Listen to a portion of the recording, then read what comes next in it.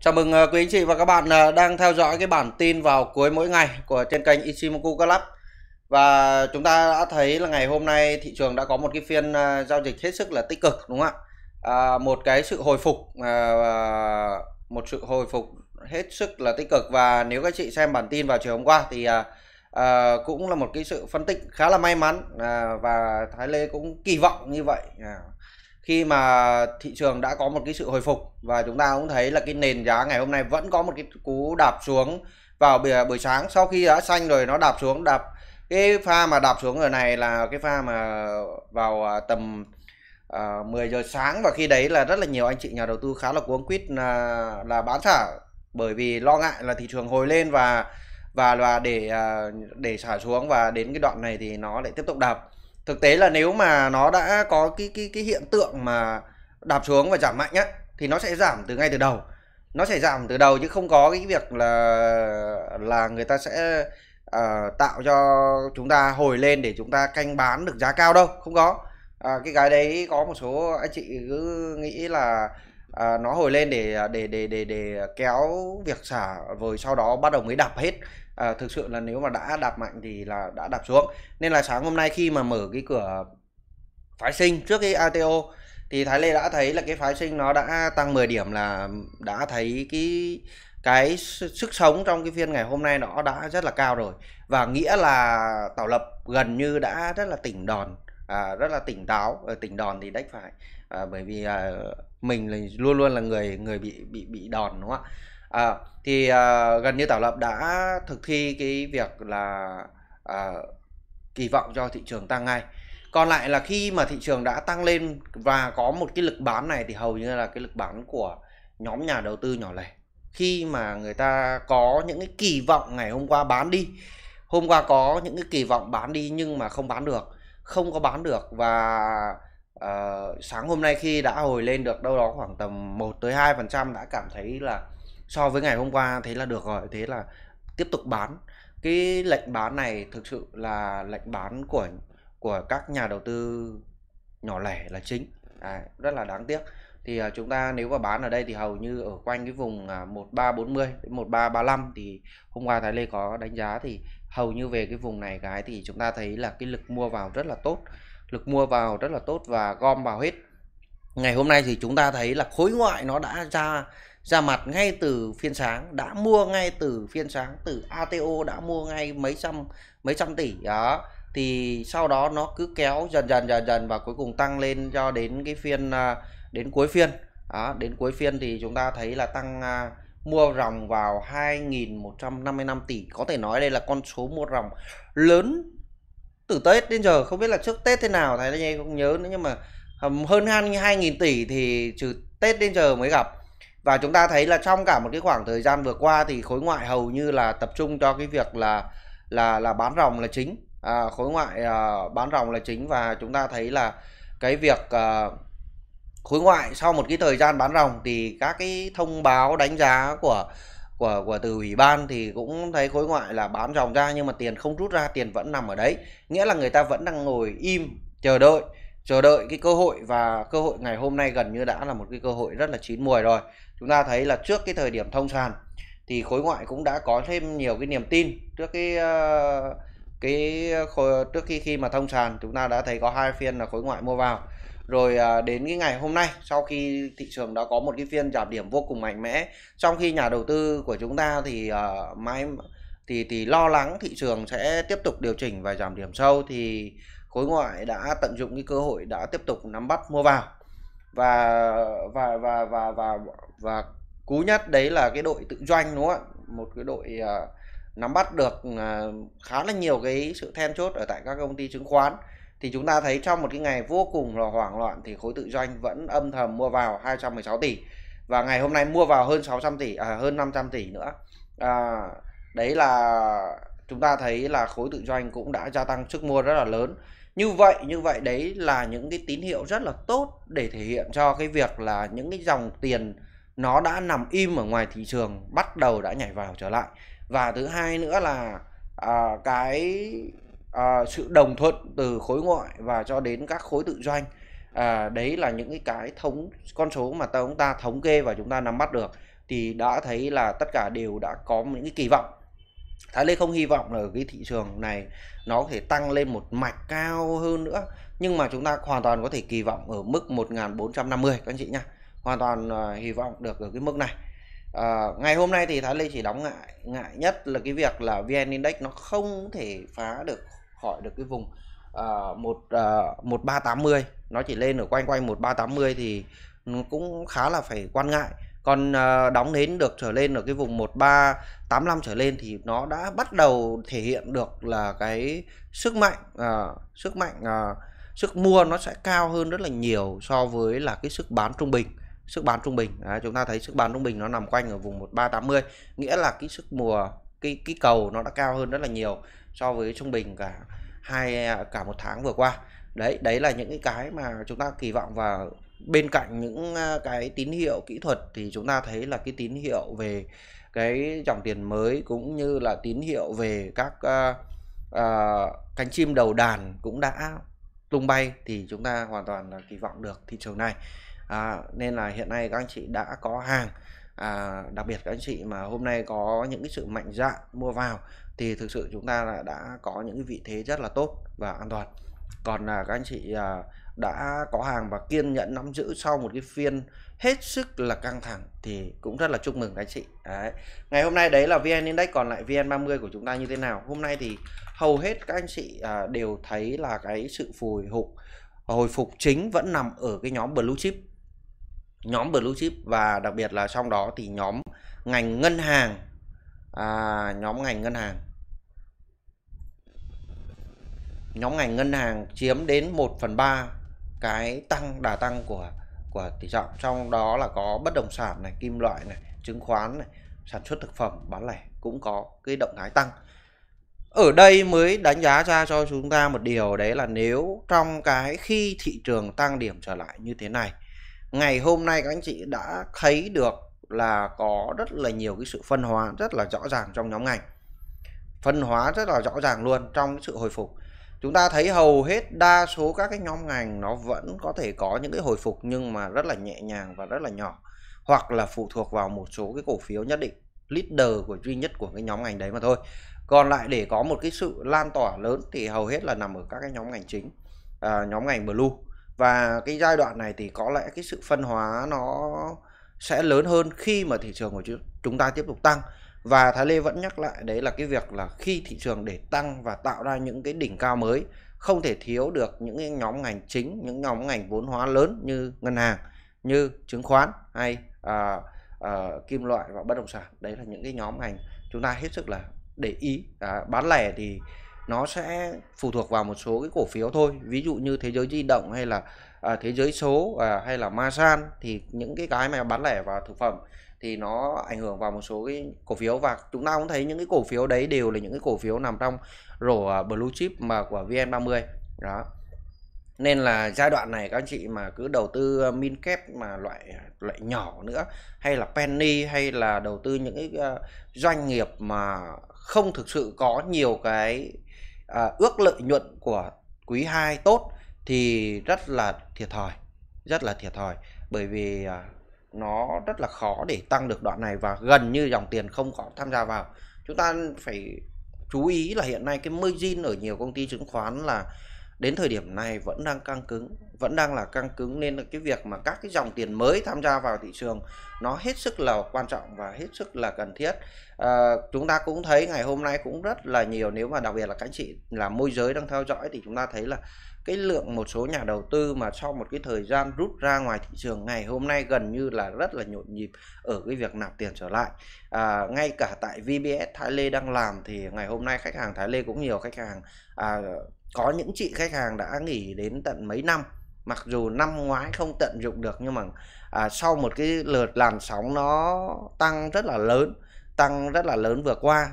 Nhưng mà cái chị vẫn chưa quyết định nhưng mà đến cái ngày hôm nay khi giảm điểm mạnh thì đã liên hệ để à, nạp thêm tiền vào tài khoản. À, và ngoài ra nữa thì chúng ta thấy là cái việc à, tại à, tại à, ở ở một số cái công ty chứng khoán à, thì cái việc mà nạp tiền vào ngày hôm nay gần như cũng hơi bị khó khăn. VBS ngày bình thường thì à, nạp tiền vào các anh chị chỉ đâu mất khoảng tầm 30 giây cho đến một phút là các anh chị đã tinh tinh vào tài khoản rồi. À, nhưng ngày hôm nay thì nó có những cái lệnh nạp tiền đúng cú pháp và đúng à, và ngay cả cái việc mà nạp tiền bằng à, à, danh định định danh ấy, tức là không cần nội dung mà chuyển thẳng vào tài khoản nó cũng à, không phải là ngay lập tức mà cũng đã bị rê ra từ 10 đến à, 20 phút mới tiền mới vào tài khoản nghĩa là chúng ta thấy là cái sự chèn chân và cái việc à, nạp tiền vào cũng khá lớn À, ngày hôm nay thì trong cái bản tin này thì ngoài nói về thị trường thì chúng ta cũng sẽ đánh giá qua một số cái tình hình một số cái nhóm cổ phiếu mà Thái Lê đánh giá là nó có cái tính lan tỏa và tính dẫn dắt trong cái giai đoạn hiện nay. À, giai đoạn hiện nay có lẽ cái việc mà tìm hiểu các cái lý do là do hệ thống hay là do công ty chứng khoán mà đang um sùm cả lên thì có lẽ nó không phải là cái cái mà chúng ta à, để ý quá nhiều. Không nên để ý quá nhiều. Để ý quá nhiều thì dẫn tới cái việc mà chúng ta lại uh, tụt mất các cái cơ hội. Quan trọng nhất đối với chúng ta đấy là thứ nhất là chúng ta đã có một cái nền uh, hệ thống từ FPT chuyển sang sao thực sự là đã rất là mượt. Và chiều ngày hôm qua có thể nói là cái sự mượt nó đã được uh, khẳng định rất là tốt. À, còn lại cái việc mà hệ thống mới rồi uh, mặc dù là HN Index thông nhưng mà HOSE có vẻ không thông hay là bà la có rất là nhiều câu chuyện thì uh, những cái việc đấy nó là việc đương nhiên. Thái Lê đánh giá đó là cái việc đương nhiên trong một cái uh, cái sự thay đổi uh, trong một cái sự thay đổi một cái hệ thống nó lớn. Các chị tưởng tượng nó chúng ta đã bị uh, bị bị bóp bóp cổ họng từ uh, cuối năm 2020 cho đến thời điểm hiện nay. Đã thở rất là khỏe rồi có thể nói là những bệnh nhân giống như covid mà nặng quá mà bây giờ là không có oxy nhưng mà đến cái thời điểm này là cắm cho cái bình oxy vào rồi đúng không ạ? Vẫn bị bệnh đấy nhưng mà quan trọng nhất là chúng ta đã có cái niềm tin và sức sống là chắc chắn rồi. Đó. Nên là cái đoạn này thì chúng ta hãy tập trung vào các cái nhóm cổ phiếu mà đang có những cái sự ưu thế để chúng ta à, giao dịch. À, ở đây thì à, trong cái ngày hôm nay tổ chức cũng à, vô cùng là tích cực các chị này. Đó khối tự doanh cũng miệt mài mua vào mua vào. Ở đây chúng ta để ý các cái nhóm cổ phiếu mà tự doanh mua vào nha. Cái tự doanh mua vào là cái cái mà các chị cũng có thể là đặc biệt là những anh chị nhà đầu tư mà à, đang khá là mới trên thị trường. À, các chị có thể ghi chép lại các chị có thể ghi chép lại cái việc mà mua vào của khối tự doanh các chị sẽ thống kê ra để các chị thấy được là cái hiệu ứng nó như thế nào. Bởi vì khi mà khối tự doanh hay khối ngoại đặc biệt là ngày hôm nay thì chúng ta còn thấy là phân đúng không? Phân uh, à, uh, à, Hồng Kông nó còn uh, cái quỹ ETF của Hồng Kông nó còn mua vào đối với uh, thị trường của chúng ta hôm nay đấy. For bond trở lại giải ngân vào chứng khoán Việt Nam. Đấy. À, có phải không nhỉ? Đúng rồi ông này là ông của Hồng Kông hôm nay cũng đã bắt đầu mua mua dòng trở lại đấy. rồi à, chúng ta sẽ thấy là nếu mà cái giai đoạn như hiện nay à, chúng ta à, không à, chú ý những cái cái mà động thái ban đầu của những à, tay to những tay lớn mua vào những cổ phiếu nào thì rất có thể là chúng ta sẽ bị lãng quên và sau đó bị lỡ hẹn nên nên là cái đoạn mà sau khi thị trường giảm điểm mạnh á thì các anh chị hãy nốt lại những cổ phiếu nào mà khối ngoại hay là khối tự doanh mua vào. À, tất cả những doanh nghiệp này sẽ đều là những cái doanh nghiệp nó có cái nền tảng doanh nghiệp cơ bản rất là tốt rồi. Bây giờ chúng ta chỉ cần là có một cái hiệu ứng lan tỏa và chúng ta có tìm các cái điểm mua vào thích hợp và phù hợp nữa mà thôi thì chúng ta được hưởng lợi ở cái việc là có một tổ chức lớn các tổ chức lớn đã phân tích cho chúng ta và thông báo cho chúng ta mỗi việc chúng ta lựa chọn nữa. Đó nên là các anh chị chúng ta đấy là cũng là một cách mà dành cho các anh chị mà nếu các anh chị tự đầu tư thì các chị tự đầu tư và tự nghiên cứu thì có thể nghiên cứu theo cái cách này cũng rất là hay. Rồi hay là khối tự doanh. Chúng ta sẽ thấy nó sẽ có nhiều cái cái cổ phiếu nó cứ lặp đi lặp lại và đó. Chúng ta thấy MBB, SSI, FBT, Techcombank, STB, à, SGS, à, SGS hôm nay cũng mua rồi à, Vietcombank đấy ta, nhóm ngành banh này rồi nhóm ngành à, bán lẻ như thế giới di động này à, Masan này cũng hôm nay được mua vào à, còn à, ở bên khối khối ngoại thì chúng ta cũng thấy sự lặp lại MBB, v, VHM, STB, Vinamilk, Hòa Phát, Masan. Đó, hôm nay Vinamilk mua lại nhiều này các chị này. Đó thì uh, chúng ta sẽ để ý tất cả những cái à, doanh nghiệp này đó, chúng ta làm một cái clip à, ví dụ như giống như làm à, đây là một cái ô của cái ông khối ngoại này đây là cái ô của ông khối tự doanh hai ông này đan xen là coi ông nào trùng cái mã nào đó. Nhưng mà BB ông ấy trùng này STB ông ấy trùng này SSI ông ấy trùng những cái cổ phiếu đấy chắc chắn là những cái cổ phiếu sẽ tốt rồi. À, chúng ta không phải phải phải phải phải có cái vấn đề gì phải quá lo ngại nữa đúng không đấy đấy là cái sự à, à, hoạt động của các cái khối tổ chức à, các cái khối tổ chức các anh chị nhá rồi à, ở ngày hôm nay cũng nhiều anh chị có câu hỏi về cái à, nhóm ngành dầu khí. Nhóm ngành dầu khí thì như cuối tuần vừa rồi thì Thái Lê cũng đánh giá và ngay cả đầu tuần cũng đánh giá là cái thực ra cái nhóm ngành dầu khí thì nó bị lệ thuộc quá nhiều đối với cái giá dầu á. À, và thực tế là cái việc mà tăng trưởng của một số doanh nghiệp dầu khí trong cái thời gian vừa qua nó gần như là tăng do cái sự ờ, tăng trưởng của giá dầu uh, nó hiệu ứng ở đấy và nên là nó không có quá nhiều là cái cái đột biến. Trong cái nhóm ngành dầu khí thì có lẽ ga của nhóm ngành khí thì Thái Lê đánh giá nó tốt hơn và nó sẽ được tập trung dòng tiền cao hơn. Còn lại ở các cái nhóm cổ phiếu khác ở trong này thì Thái Lê vẫn đánh giá nó rất là xấu. Hay như ông PVD thì thực ra là nó còn lỗ cả cái quý 1, quý 2 thì chưa biết là ước tính bao nhiêu nhưng mà quý 1 nó còn lỗ và còn bị hạ hết margin nhưng mà cái giá dầu tăng thì nó vẫn cứ tăng. Và đương nhiên thì nên là nó đây là những cái cơn sóng mà có lẽ nó đã bắt đầu trôi qua rồi. Đó còn lại ít nhất như những cái cổ phiếu như BSR thì còn mua được. Đó BSR là những cái doanh nghiệp nó là những có cái, cái thị phần khá là lớn và nó có cái sự tăng trưởng ở trong cái nhóm ngành dầu khí. Thì nếu mà đã xét về dầu khí thì có thể là như BSR cũng còn còn tham gia được. À, BSR ngày hôm nay chạm về quanh 18 thì những cái điểm này cũng có thể mua này. Ngày mai đỏ lửa về vùng này các chị mua được đấy thì uh, đối với dầu khí thì Thái Lê cũng chỉ view được cái cổ những cổ phiếu đấy thôi. PVT thì uh, có lẽ cũng uh, sẽ đi song hành nhưng mà PVT thì uh, có mua thì mua loanh quanh ở cái dưới cái vùng uh, 17 17.5 thì chắc nó sẽ an toàn hơn rất là nhiều á. Đấy. Rồi thì đấy là cái nhóm ngành cổ phiếu uh, dầu khí.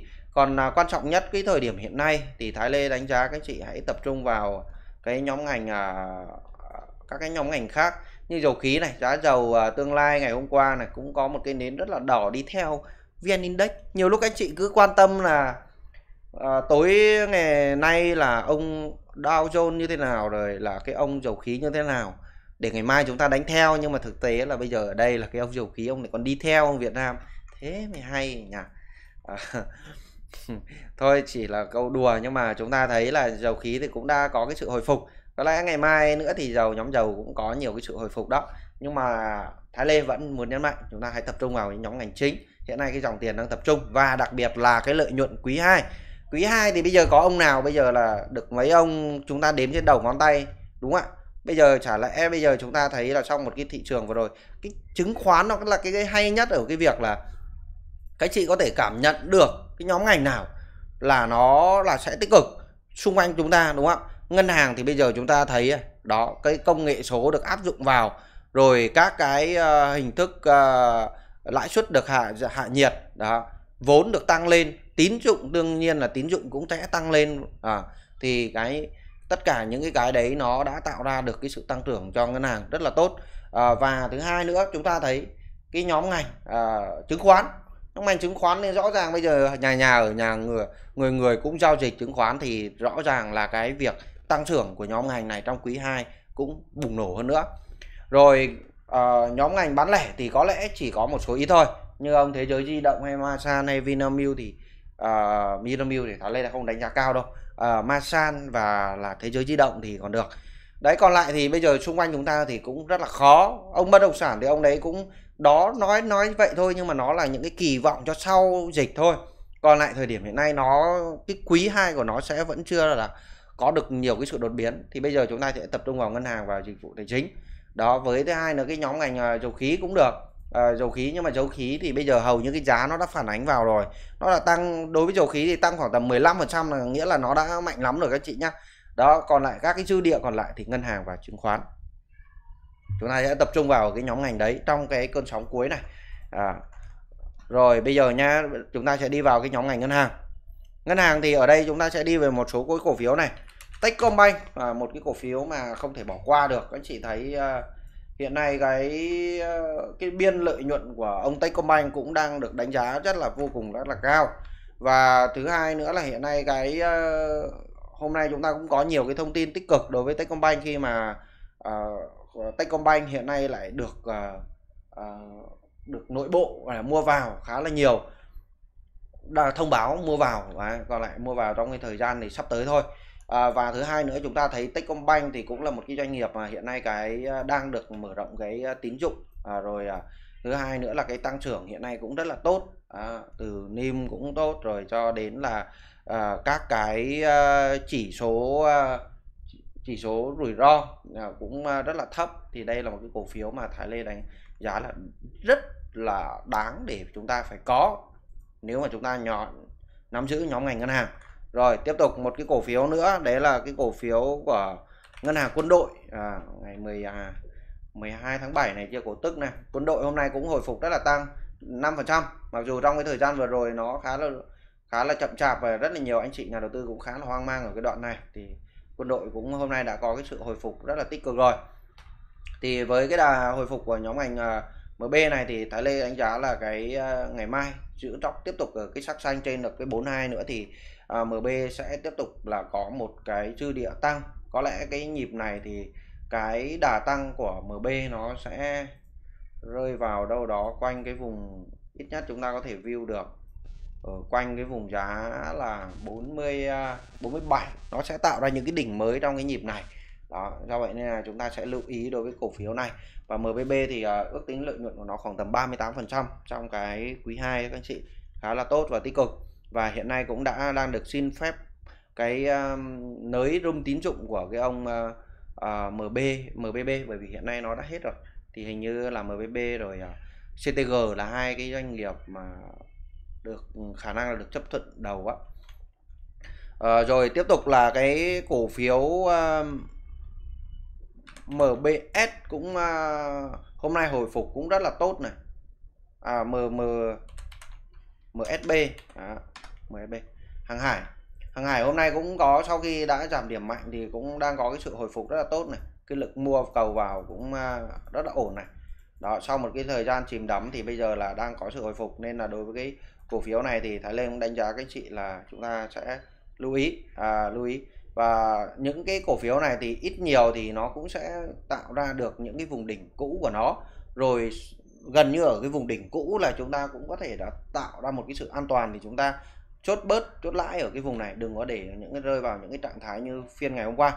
Và cái phiên ngày hôm qua là một cái cái mà gần như chúng ta cũng phải để tâm tới đặc biệt là các anh chị sử dụng mà margin à, rồi có các cái lợi nhuận thì chúng ta cũng à, nên chia nhỏ ra tránh cái trường hợp nếu mà ngày sáng hôm qua chúng ta chia nhỏ thì có thể sáng hôm nay chúng ta đã có hàng bắt đáy. Chúng ta cứ nghĩ vậy để chúng ta có những cái phương án mà không nên có quá nhiều cái suy nghĩ là sẽ ăn được từ ăn được trọn bộ à, mà có thể chúng ta chia nhỏ ra để chốt lãi à, thì nó nó sẽ an toàn hơn rất là nhiều.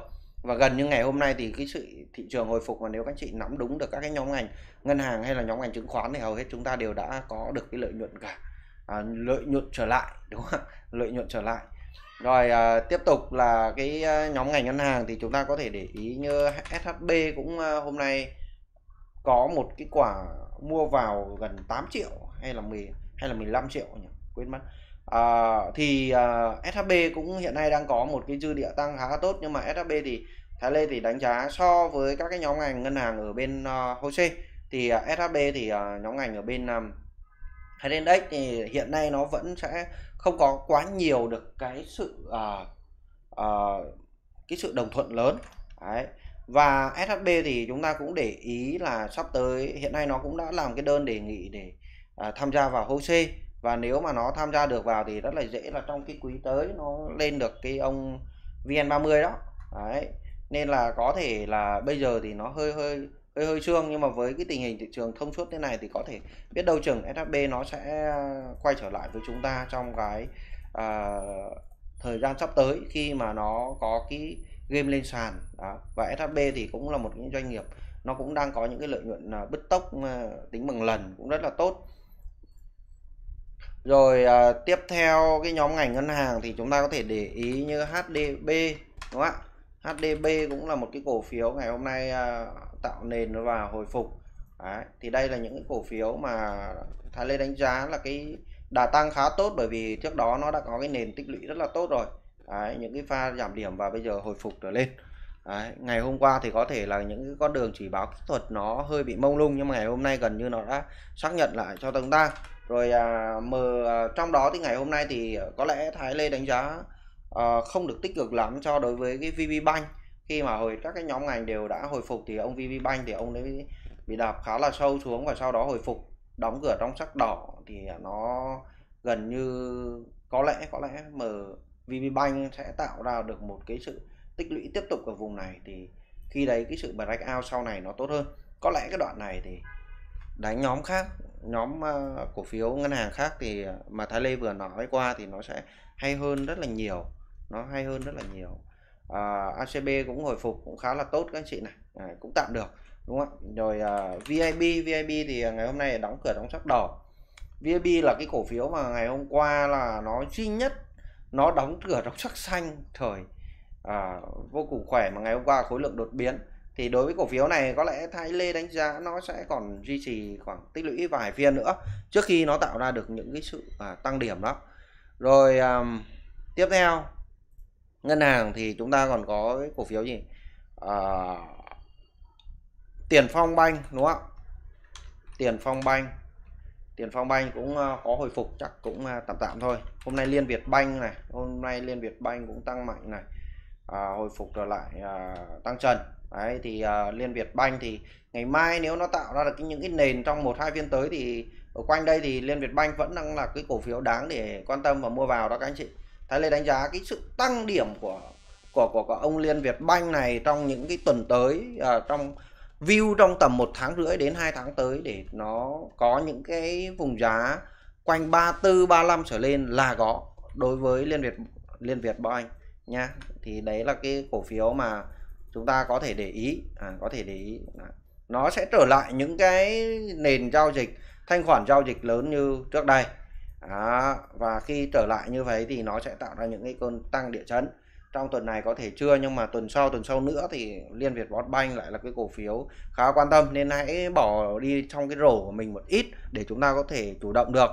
Rồi sau cái, cái nhóm ngành đấy thì Thái Lê sẽ chuyển sang đối với cái nhóm ngành chứng khoán đó. thì hiện nay thì Thái Lê sẽ chỉ view vào đối với chứng khoán và nhóm ngành uh, ngân hàng thôi à, vẫn là hai cái nhóm ngành nó sẽ có tạo ra được cái uh, tăng trưởng cho thị trường à, và nó có các cái thuận lợi trong cái uh, cái cái cái kết quả kinh doanh của quý 2 Đấy. và hiện nay thì chúng ta thấy SSI ngày hôm nay có cái sự hồi phục SSI hồi phục mà hồi phục chỉ chạm được vùng này thì nó cũng hơi lưỡng lự á thì uh, chúng ta cũng uh, đang tiếp tục nắm giữ thôi. Ngày mai mà nó đóng cửa được trên được cái vùng ờ, uh, 55 thì quá tốt đối với SSI rồi. Rồi thì HCM HCM có vẻ là tích cực hơn SSI đó các anh chị này. Nên HCM thì uh, chúng ta có thể tham gia được này. Uh, tiếp tham gia được thêm nhé đó. Rồi uh, tiếp tục là đối với cái cổ phiếu bên này thì uh, chúng ta có VND cũng tốt này đúng không ạ? VND này VND thì cái đồ thị này nó hơi bị khoai khoai tí sai sai tí nhưng mà hiện nay nó có hồi phục thế này là cũng đã khá là tích cực rồi. Nhưng mà VND của chúng ta thì bên HNX á. Rồi à, một cái cổ phiếu trong này nữa là VCI này. VCI cũng đang có những cái sự hồi phục à, khá là tốt này. Thì đối với những cái cổ phiếu này thì các anh chị cũng nên view vào. À, chúng ta sẽ nghiên cứu. À, MBS MBS cũng à, hồi phục tăng. Nhưng mà đối với dòng này thì Thái Lê đánh giá nó đánh ở bên cả HNX nữa nên là cái biên nó lớn quá biên nó lớn quá thì dành cho các anh chị mà nào mà uh, thích đánh về dòng penny á thích đánh penny mà bây giờ là penny không có sóng thì ngồi đánh cổ phiếu này. Đó nó nó diễn biến khá là là khá là nhanh đó. Rồi tiếp tục là cái cổ phiếu ờ, chứng khoán nữa là SHS à, SHS thì thái lên đánh giá là cái đoạn này thì chưa nên mua được. Chắc có lẽ phải tạo ra được cái sự tích lũy thêm vài phiên nữa. Đó thì chúng ta hãy dựa vào những cái ông ờ, leader hơn từ ngân hàng cho đến chứng khoán thì uh, view vào. Còn uh, sắp tới thì uh, nếu có thể là đến cuối tuần thì uh, Thái Lê sẽ tổng kết lại các cái nhóm ngành xem liệu thì trong tương lai sắp tới thì sẽ như thế nào. Còn đoạn này thì uh, với cái tình hình thị trường đúng cũng đang thể hiện được lại những cái sự tích cực hơn thì uh, chúng ta sẽ tập trung vào những nhóm ngành đấy thôi. Và thứ hai nữa là thị trường như hiện nay thì nó vẫn đang tồn tại nhiều cái sự rủi ro. À, rủi ro nên là các chị chúng ta hãy cố gắng co hẹp cái số lượng danh mục nhé số lượng đấy số lượng danh mục để mỗi lần xảy ra những các cái sự cố chúng ta có thể là tinh gọn hay ấn uh, xử lý nó được mượt hơn đúng không ạ? Mượt hơn đúng như cái thị trường hiện nay của chúng ta. Rồi rất là cảm ơn các chị đã chú ý theo dõi cái chương trình này. Và trong quá trình đầu tư nếu các chị đang cần cái sự hỗ trợ của uh, môi giới thì hãy liên hệ với Thái Lê. Và các chị nếu mà à, đang à, có cái băn khoăn à, câu hỏi nào về cái cổ phiếu hay là à, nhóm ngành nào thì có thể cứ chat Zalo theo cái số điện thoại này của Thái Lê này. À, bên này chỉ bên này. Rồi rất là cảm ơn các chị và chúc anh chị à, đầu tư thành công nhá. À, và hãy à, đừng quên là ấn like và subscribe cái kênh này à, để ủng hộ cho đội ngũ ITP cũng như là Thái Lê. Xin chào và hẹn gặp lại các anh chị.